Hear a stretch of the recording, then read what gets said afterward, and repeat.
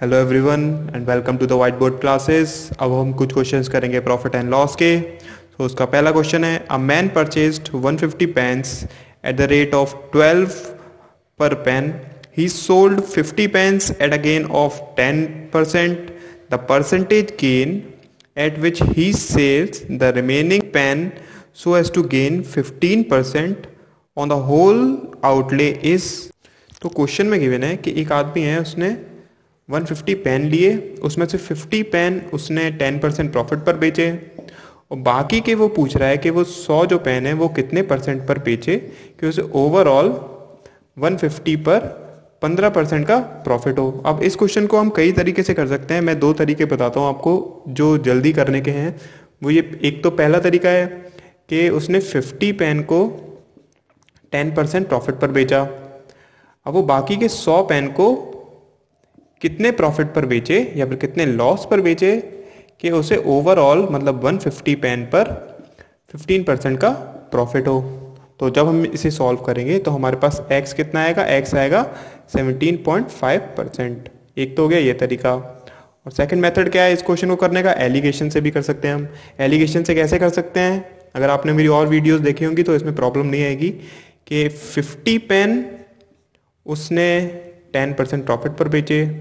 वो बाकी के सौ पेन कितने प्रॉफिट पर बेचे कि उसे ओवरऑल 15 परसेंट का प्रॉफिट हो?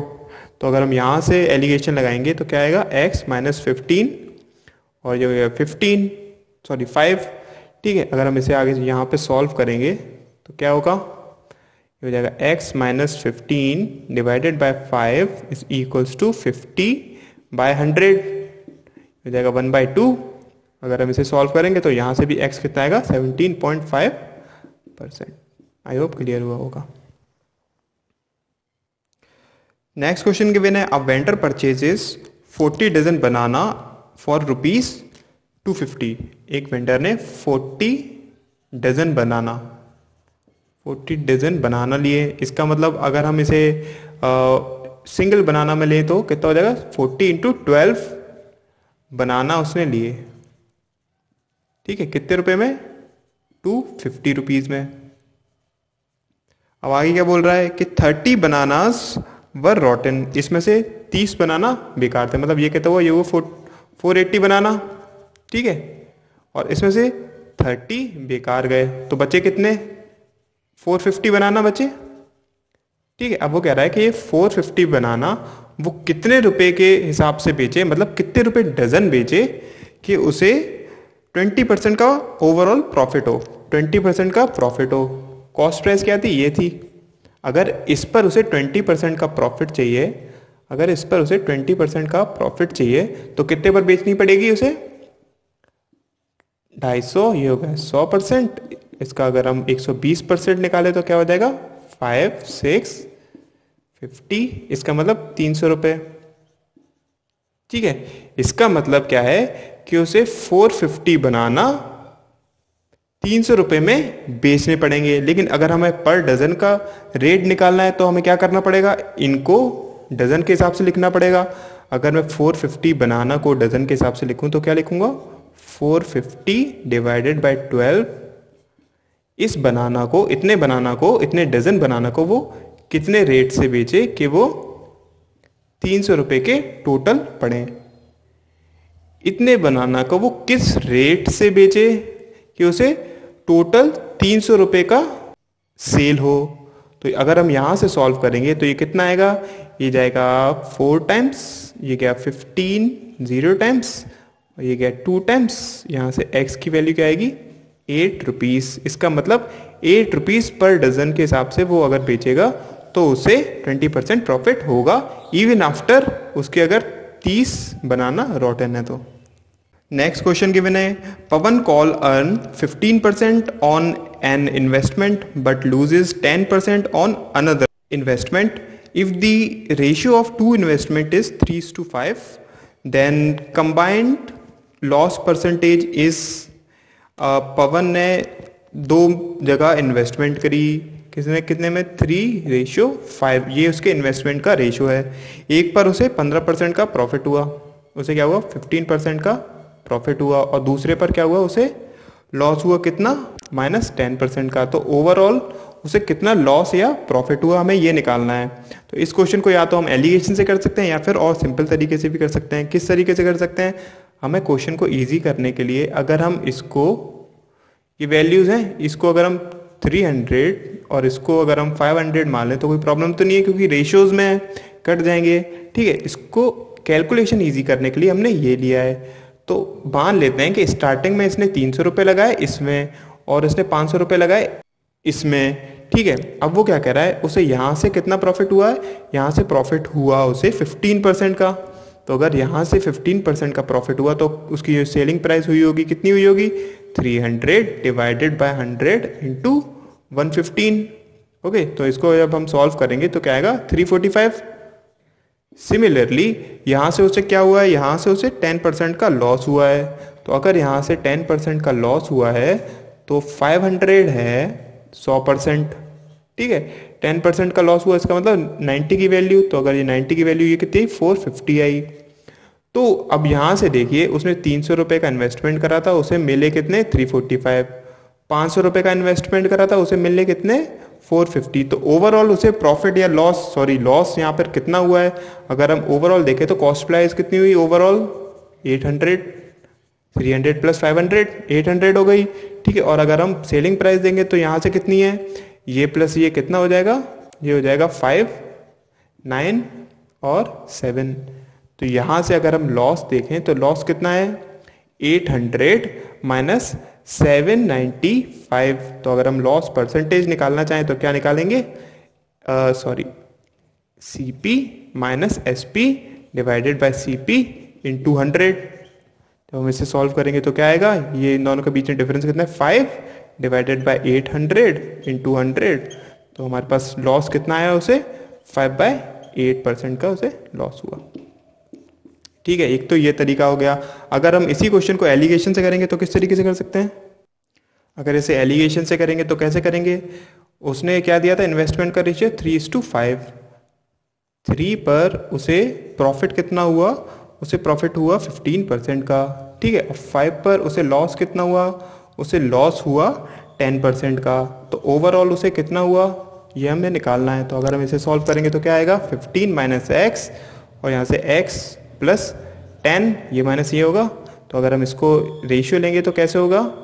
X plus ten divided by fifteen minus X is equals to three is to five जब हम इसको आगे सॉल्व करेंगे तो आएगा हमारे पास, ये आएगा five X plus fifty is equals to forty five minus three X ठीक है, ये हो गया eight X is equals to ये हो गया फाइव तो X is equals to minus five by eight इसका मतलब लॉस हुआ उसे कितने का?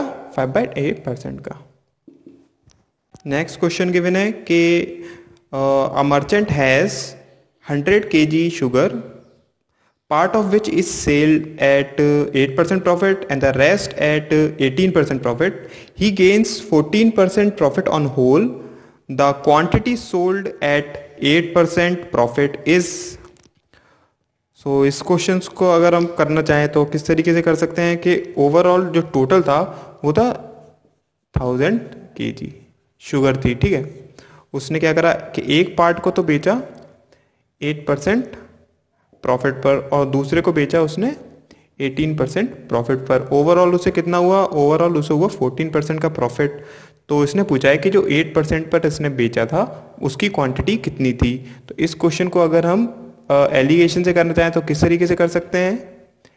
कि एक क्वांटिटी है, हमें नहीं मालूम, उस पर उसने कितना प्रॉफिट दिया है? एट परसेंट का प्रॉफिट है। दूसरी क्वांटिटी है, वो भी हमें नहीं मालूम। उस पर उसने कितना प्रॉफिट दिया है? उसने एट्टीन परसेंट का प्रॉफिट दिया है, ठीक है? और ओवरऑल उसे कितना प्रॉफिट हुआ है? ओवरऑल उसे प्रॉफिट हुआ है फोर्टीन परसेंट का। तो अगर हम यहाँ से एलिगेशन लगाएँगे तो आएगा फोर परसेंट और ये कितना हो जाएगा? ये हो जाएगा सिक्स परसेंट अगर हम इन दोनों का रेशियो लेंगे तो क्या आएगा? टू इज़ टू थ्री या टू किसको रिप्रेजेंट कर रहा है? टू रिप्रेजेंट कर रहा है। इसको थ्री किसको रिप्रेजेंट कर रहा है? थ्री रिप्रेजेंट कर रहा है। इसको ओके और दोनों की क्वांटिटी मिलाकर कितनी थी थाउज़ेंड के जी क्योंकि टोटल थाउज़ेंड के जी था ना। कुछ पार्ट उसने यहाँ लगाया, कुछ पार्ट उसने यहाँ लगाया। तो दोनों का मिलाकर कितना है? थाउज़ेंड के जी इसका मतलब क्या होगा? रेशियो से अगर हम देखें तो कितना है? टू प्लस थ्री फाइव ठीक है बट क्वेश्चन में गिवन कितना है? थाउज़ेंड के जी ओके हमें वैल्यू किसकी निकालनी है? हमें वैल्यू निकालनी है उसकी जिस पर इसने आठ परसेंट प्रॉफिट दिया इसका मतलब हमें वैल्यू निकालनी है इसकी। इसको कौन रिप्रेजेंट कर रहा है? टू रिप्रेजेंट कर रहा है। तो अगर हम टू की वैल्यू निकालें तो यहाँ से क्या हो जाएगी? Thousand divided by five into two you get two hundred इसका मतलब इसकी वैल्यू कितनी थी? Two hundred into two four hundred okay तो इसका मतलब हमने फोर हंड्रेड के जी यहाँ पर लिया था। अगर हम इसे एक और तरीके से करना चाहें तो कैसे कर सकते हैं? हम मान सकते हैं कि जो वन थाउज़ेंड के जी है उसको वन मान लेते हैं।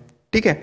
वन थाउज़ेंड के जी को वन मान लेते हैं और ले, लेटर सपोज़ कि एक पार्ट उसने एक्स दिया तो दूसरा पार्ट कितना हो गया उसका? वन माइनस एक्स ठीक है? थाउज़ेंड के को हमने एक माना और उसमें से कुछ पार्ट एक्स माना। तो बाकी का बचा हुआ पार्ट कितना हुआ? वन माइनस एक्स अब क्वेश्चन के अकॉर्डिंग क्या है? कि एक्स पार्ट को उसने एट परसेंट प्रॉफिट पर बेचा और जो सेकंड पार्ट था मतलब वन माइनस एक्स उसको उसने एटीन परसेंट प्रॉफिट पर बेचा और ओवरऑल उसे कितना प्रॉफिट हुआ? ओवरऑल उसे प्रॉफिट हुआ फोर्टीन परसेंट का। इसका मतलब वन पर उसे प्रॉफिट हुआ फोर्टीन परसेंट का। तो अगर हम इसे सॉल्व करेंगे तो क्या आएगा? Eight X plus eighteen minus eighteen X is equals to fourteen okay ये वैल्यू अगर देखेंगे तो minus ten X is equals to minus four ठीक है? एक्स की वैल्यू क्या आई? एक्स की वैल्यू आई टू बाय फाइव इसका मतलब two by five percent sorry इसका मतलब two by five part of one का इसने, इसमें लगाया था। Two by five part of one का इसने इसमें लगाया था तो एक्स की वैल्यू अगर आई इतनी, वन की वैल्यू कितनी है? वन की वैल्यू है थाउज़ेंड के जी। वन की वैल्यू कितनी है? Thousand K G. तो टू पॉइंट फाइव की वैल्यू कितनी होगी? Thousand divided by one into two by five. ये कितना आ गया? सेम फोर हंड्रेड इसकी वैल्यू आ गई। नेक्स्ट क्वेश्चन गिवन है, a trader sells two bullocks for rupees eight four double zero each. ठीक है? और आगे गिवन है कि neither losing and gaining in total if he sold one of the bullock at a gain of twenty percent the other is sold at a loss of let suppose मानते हैं ये C P one है, ये C P to है। ठीक है? ये पहले की है कॉस्ट प्राइस ये दूसरी कॉस्ट प्राइस है। और ये एस पी वन है, ये एस पी टू है। ठीक, उसने क्या बोला है कि दोनों को उसने एट फोर डबल ज़ीरो पर बेचा। ईच पर। दोनों को उसने एट फोर डबल ज़ीरो पर बेचा इसका मतलब एस पी वन भी क्या है उसकी? एट फोर डबल ज़ीरो और एस पी टू भी क्या है उसकी? एट फोर डबल ज़ीरो अब उसने क्या बोला है कि उसे ना तो गेन हुआ है, ना लॉस हुआ है। इसका मतलब जो टोटल कॉस्ट प्राइस थी और जो टोटल सेलिंग प्राइस है, वो दोनों इक्वल हैं। तभी तो उसे ना कोई गेन हुआ है, ना कोई लॉस हुआ है। तो अगर हम टोटल सेलिंग प्राइस देखें तो कितनी है? ज़ीरो ज़ीरो एट सिक्सटीन इसका मतलब दोनों की कॉस्ट प्राइस भी इतनी होनी चाहिए, तभी तो उसे नाइदर गेन नॉर लॉस होगा। ठीक है? इन दोनों की कॉस्ट प्राइस की सम कितना होगा? वो भी इतना होगा। अब उसने क्या बोला है कि एक पर उसने ट्वेंटी परसेंट का प्रॉफिट किया। एक पर उसने ट्वेंटी परसेंट का प्रॉफिट किया। मतलब एक जो सेलिंग प्राइस है, वो वन ट्वेंटी परसेंट है। वन ट्वेंटी परसेंट एक है एट फोर डबल ज़ीरो तो अगर हम हंड्रेड परसेंट निकालना चाहें तो क्या वैल्यू आएगी? Eight four double zero divided by one twenty into hundred ये कितनी होगी? सेवन थाउज़ेंड ठीक है, ये क्या वैल्यू है सेवन थाउज़ेंड इसका मतलब इसकी कॉस्ट प्राइस क्या थी? सेवन थाउज़ेंड इसकी कॉस्ट प्राइस थी सेवन थाउज़ेंड तो दूसरे की कॉस्ट प्राइस कितनी हो जाएगी? ये माइनस ये. है ना? दूसरे की कॉस्ट प्राइस क्या हो जाएगी? One six eight double zero minus seven thousand तो ये कितना हो जाएगा? ज़ीरो ज़ीरो एट और थ्री और एट नाइन। इसका मतलब इसकी कॉस्ट प्राइस कितनी है? इतनी। इसकी कॉस्ट प्राइस कितनी है? Nine eight double zero. अब उसने क्वेश्चन में पूछा क्या है? उसने पूछा है कि ये सेकंड वाला था, उसने उसे कितने लॉस पर बेचा? उसे उसने कितने परसेंट लॉस पर बेचा? तो देखिए सेकंड वाले की कॉस्ट प्राइस है इतनी। उसने उसे बेचा कितने पर? इतने पर। तो उसे लॉस कितना हुआ? अगर हम लॉस परसेंटेज निकालें तो C P minus S P divided by C P into hundred C P है हमारा nine eight double zero minus S P है एट फोर डबल ज़ीरो और C P nine eight double zero into hundred जब हम इसको solve करेंगे तो हमारे पास वैल्यू कितनी आएगी? हमारे पास आएगी fourteen two by seven percent